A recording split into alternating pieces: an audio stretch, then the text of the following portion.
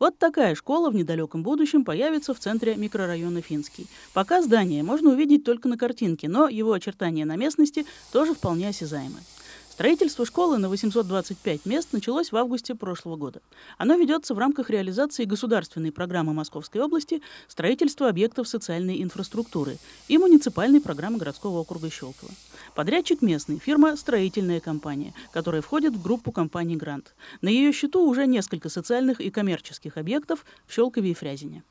Сегодня завершаются уже работы по фундаменту завершаем работы по выполнению заливки фундамента и начали э, заливку монолитных стеновых конструкций.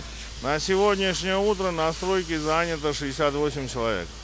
Работы продолжаются в любую погоду. Определенные сложности, по словам президента группы компании «Грант» Григора Агикяна, создают обильные снегопады этой зимы. Время уходит на уборку снега со стройплощадки.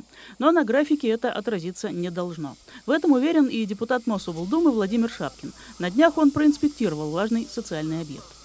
Радует то, что э, по графику, несмотря на тяжелые условия, надеемся, что э, так оно и будет впредь и э, будем обязательно сюда приезжать. Э, для нас очень важно э, именно сроки, потому что заложены деньги в бюджете, так чтобы они были использованы э, в срок, мы ничего не переносили. Ну а самое главное, чтобы была школа готова, э, э микрорайон развивается. Новое учреждение образования разгрузит школу в соседнем микрорайоне Богородский. Планируется, что дети пойдут сюда учиться в следующем 23 году. Строительство идет согласно графику производства работ. У нас сроки, э, сроки завершения 23 год